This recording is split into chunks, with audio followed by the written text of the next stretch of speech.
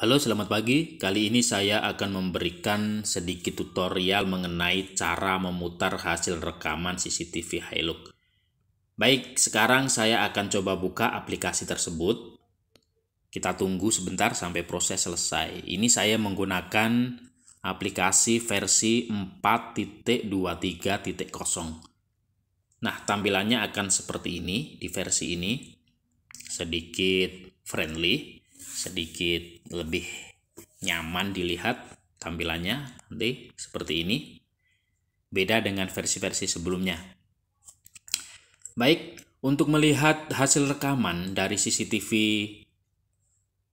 tersebut kita cukup menekan salah satu kamera yang ingin kita lihat hasil rekamannya.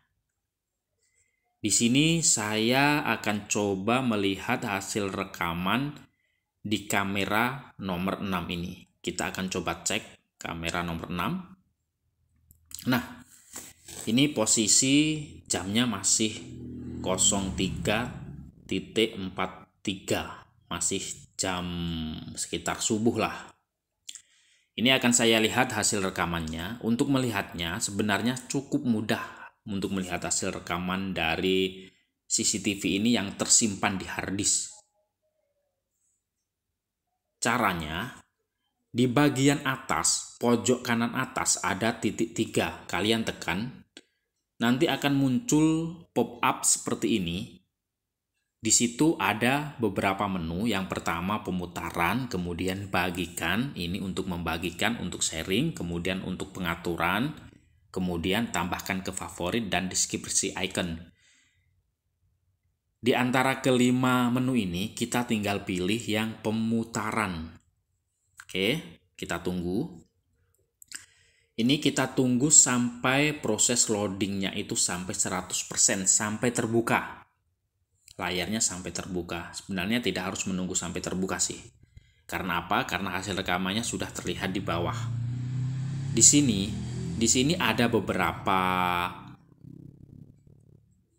uh, petunjuk yang pertama di samping kiri ini masih kayak ada lahan yang warnanya hitam kemudian di samping pojok uh, di samping pojok kanan ini tampilan biru. Ini adalah hasil rekamannya. Kita tinggal pilih sesuai hari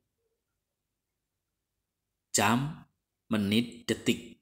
Kita tinggal tentukan kita tinggal geser-geser seperti ini jika kita ingin melihat hasil rekaman yang sesuai tanggal, kita tinggal tekan di bagian atas itu ada tanggal, kita tekan saja, nanti akan muncul seperti ini.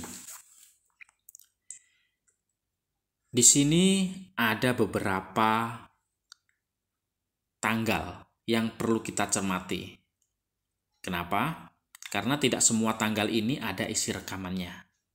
Nanti akan saya jelaskan terlebih dahulu. Kita akan cari kamera yang mungkin hasil rekamannya sudah tersimpan dengan baik. Ini kita akan cek terlebih dahulu hasil rekamannya. Oke. Akan saya uh, perlihatkan terlebih dahulu. Ini di bagian tanggal ini, ini ada beberapa perbedaan antara tanggal 1 sampai tanggal 21. Sedangkan tanggal 22 dan tanggal 24 ini berbeda dari tanggal yang sebelumnya. Kenapa?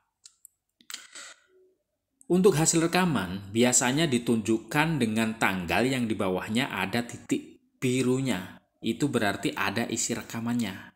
Jika tanggal yang tidak ada titik birunya itu berarti dia tidak ada rekamannya. Kenapa? Karena CCTV ini, DVR ini nanti sifatnya akan memformat secara otomatis jika harddisknya itu penuh. Maka mungkin di tanggal 21 itu harddisknya sudah penuh, kemudian dia melakukan format secara otomatis dan berakhir eh, dan mulai lagi di tanggal 22. Kita akan cek tanggal 22. Hasil rekaman dimulai pada jam 19. Nah, kurang lebih jam 19. Kita akan coba lihat untuk mengatasi putar-putar ini sebenarnya tergantung pada koneksi internet. Karena ini uh, saya buka dari jarak jauh, beda jaringan. Dan kemungkinan besar ini disebabkan karena di jaringan yang di server sana, yang dekat dengan WiFi, yang dekat dengan DVR-nya sana, internet yang menuju ke DVR sana itu jaringannya jelek. Jadi mau nggak mau kita harus menunggu dia masih berputar-putar ini adalah hasil rekaman yang kemarin kita akan cek hasil rekaman di tanggal 23 coba kita cek.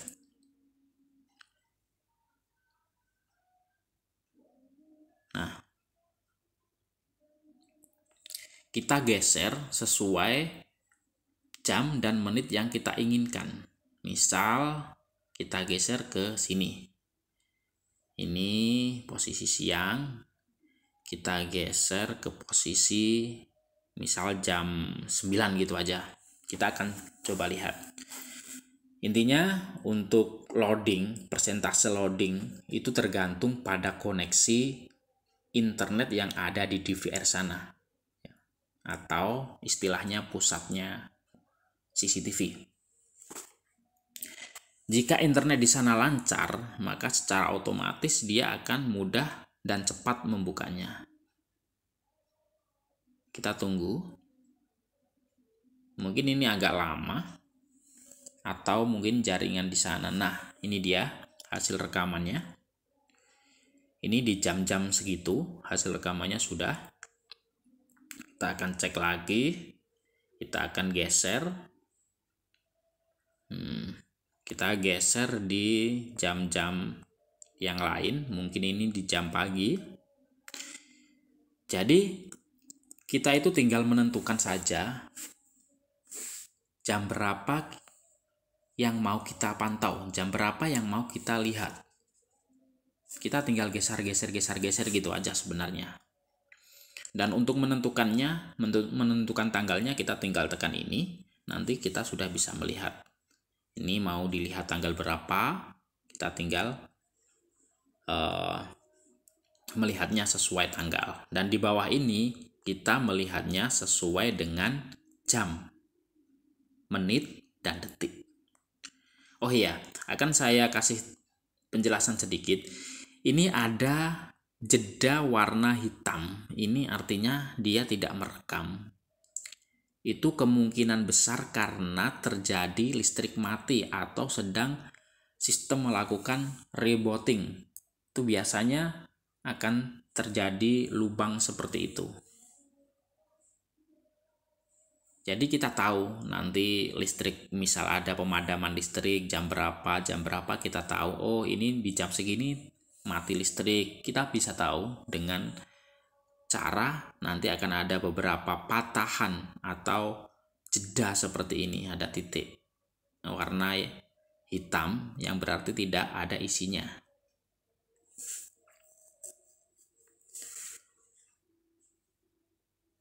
baik akan saya back untuk melihat hasil rekamannya sesuai tanggal yang kita inginkan. Caranya hanya seperti itu. Kita tinggal tekan tanggal terus kita cari tanggal berapa yang mau kita lihat. Kemudian tinggal kita geser di bagian bawahnya sesuai jam, menit, dan detik yang kita ingin pantau. Oke akan saya back kembali ke awal nah kurang lebih untuk melihat hasil rekamannya seperti itu jika masih kurang jelas dan kurang begitu paham dengan tutorial yang saya berikan, nanti bisa tanya-tanya di kolom komentar. Oke, cukup sekian. Terima kasih.